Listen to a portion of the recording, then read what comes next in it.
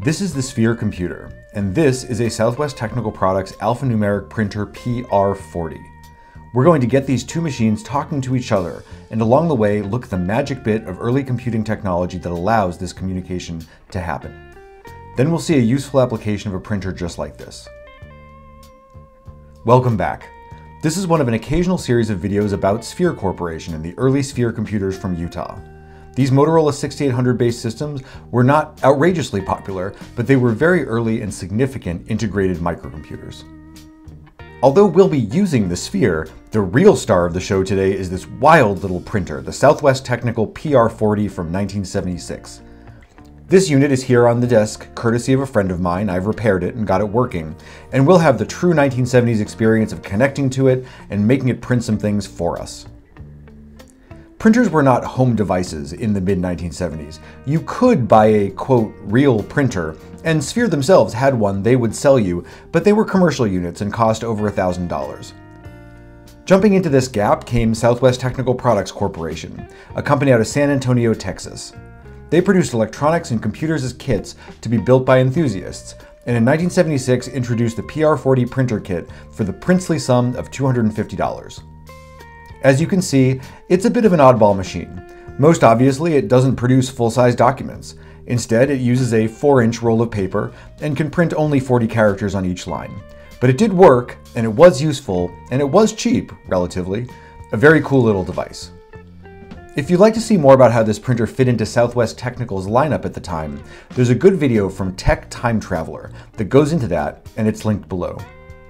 But the printer wasn't only used, or even intended to be used, by people with the Southwest Technical computer system. Many Sphere users, enthusiasts themselves, bought this printer and connected it up to their Sphere computers. The documentation from Southwest Technical explains what you need to do to drive it from whatever your computer was, and in that era, users were often technically experienced and expected to be able to figure out how to make that work.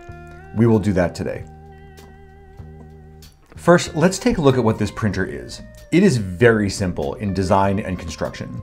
This whole bit on top, the actual print mechanism, is a third-party part that was manufactured by a company called LRC. This mechanism was also used in adding machines and other commercial print systems, so it is not unique to this printer. Uh, it is an impact printer mechanism, the simplest version of a dot matrix design, with a single vertical row of seven pins in the printhead. The flower of cylinders on the back of the printhead is the set of seven solenoid coils that drive each pin independently. As the printhead sweeps across the page, the electronics trigger the individual solenoids which force pins to fire, striking the ink ribbon and then the paper, causing characters to appear. The printhead or carriage sweeps back and forth by the rotation of this plastic barrel with an elliptical cam track in it. It's a cool, very simple design that relies on smart electronics to drive it. Southwest Technical put those electronics down below in this sheet metal box. All of the timing, the specific form of the printed characters, and the interface with the host computer are in the circuitry underneath and inside.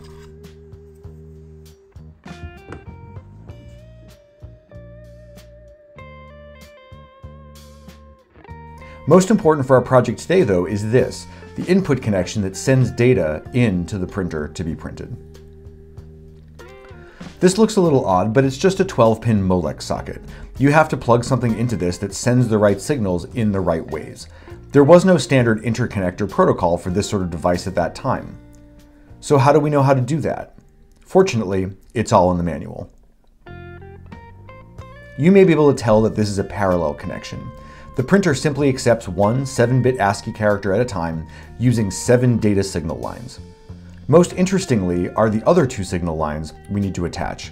One of them is a data ready signal, or strobe, that tells the printer that the ASCII data on the 7 data lines is valid and the printer can go ahead and accept it. The other is a response line from the printer back to the computer, telling the computer that it has accepted the character and is ready for the next one. But now the important question, how does that connect to a sphere or indeed to any computer? The answer to that question is a historically significant computer chip. Here are the recollections of its designer, Chuck Peddle. Quote, the most important thing I did at Motorola, and the most important thing I ever did for the personal computer industry was I knew that this thing called a microprocessor is just a power burner. You can sit there and make it run power, but it doesn't do anything. If you want to make it do something, if you want to make it run a copier, if you want to make it be a cash register, you need an I.O. function. So we invented a thing called a PIA, which had programmable registers and it was in memory mapped space. And we put the structure in we needed to get an interrupt in. And we could get an interrupt off from the edges, and you could make one edge drive another. We put some really nice programming features in it. And we did that, they patented it, and everybody in the world still uses that structure programmable input output registers.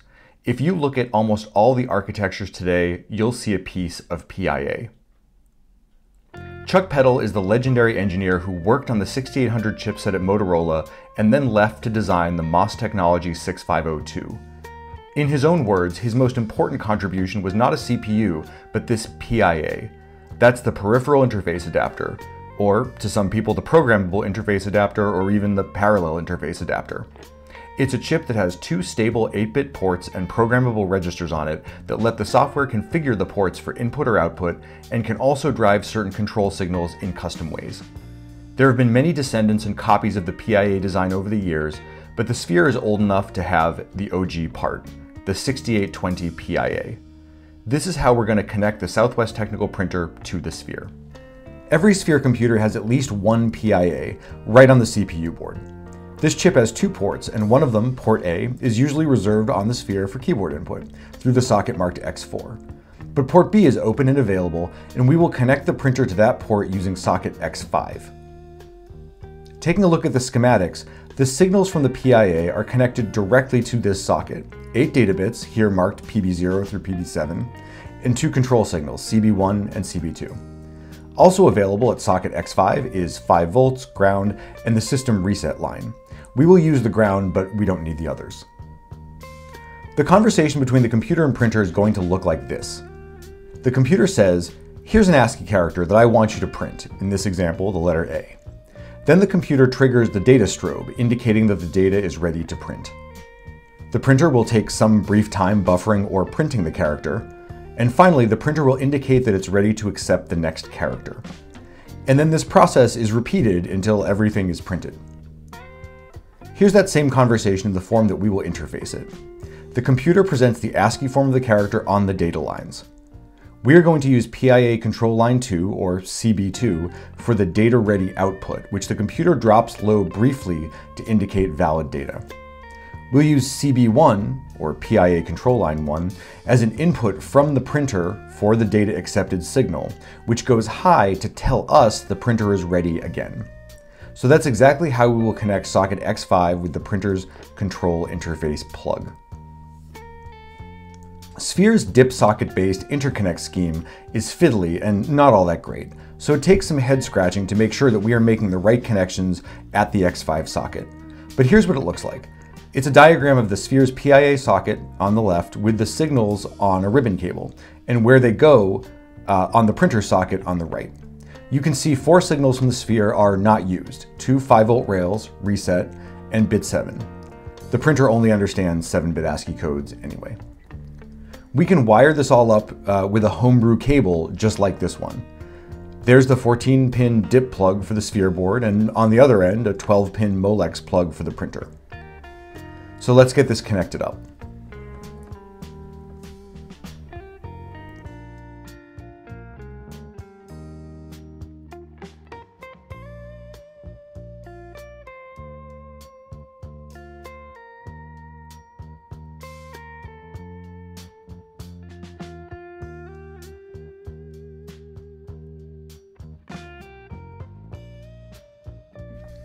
Now our 1976 Duo is complete and looking pretty.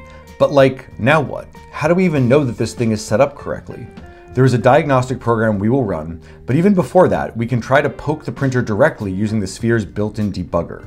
This is possible because the 6800 architecture uses memory mapped I.O., so as long as we know what address that PIA chip is located at, we can read and write to it directly. We fire up the Sphere and enter the debugger. We'll start by opening location F042, which is the address of port B's data register on the PIA.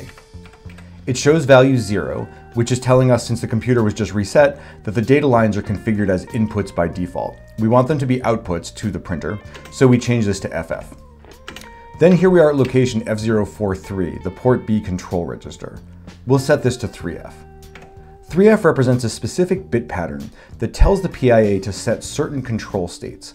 We are telling the PIA that signal line CB1 will be an input, and we want to know when it goes high.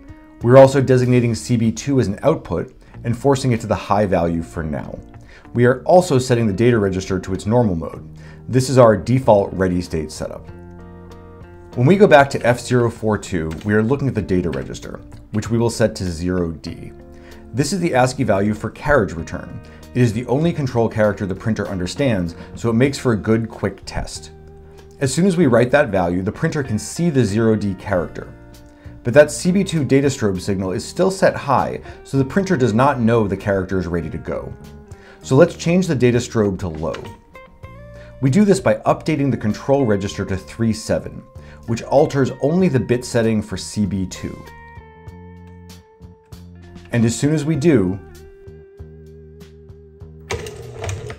ta-da! We have successfully sent a carriage return character to the printer, and it has done what we have asked. Next up is the Southwest Technical Diagnostic Program.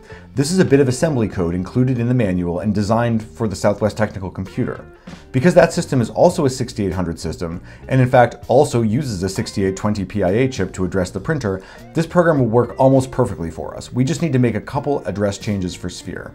Once we do, we can load and run it and see what happens.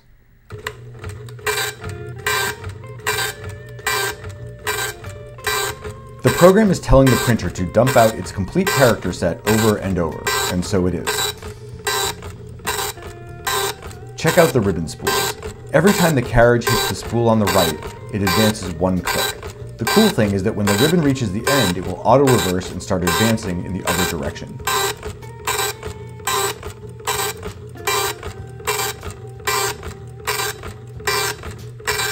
To stop it, we can just turn off the printer which also makes sure that no junk is left over in its internal buffer.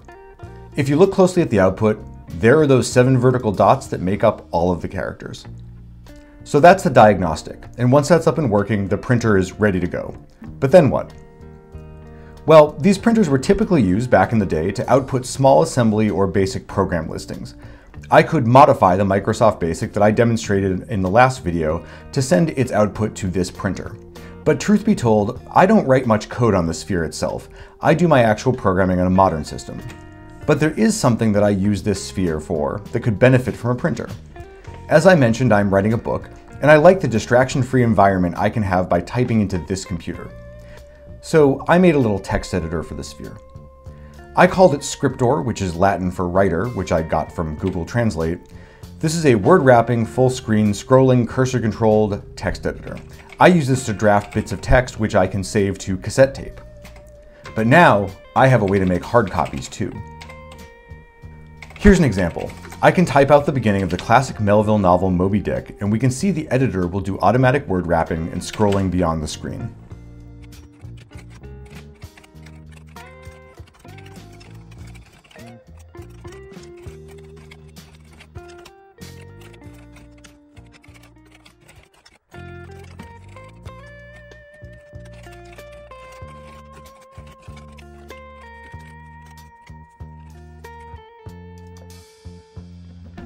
Now, if I want to print it out, I can. The Sphere screen is only 32 columns wide, but the printer has 40 columns, so the text gets rewrapped as its output to the printer to make full use of the paper width. Nifty. That's all we have for today. I have really enjoyed getting this printer up and working and showing you the Motorola 6820 PIA. Even if you don't have a Sphere or a PR40 printer, I hope you now have a sense that the PIA and its descendants are powerful and useful tools that might be able to fit in somewhere in your own work. You can find the code for the Scriptor editor as well as information on this printer and how to connect it to a Sphere linked below. Please check out sphere.computer for more information on the computer and to sign up for newsletters and updates. See you next time.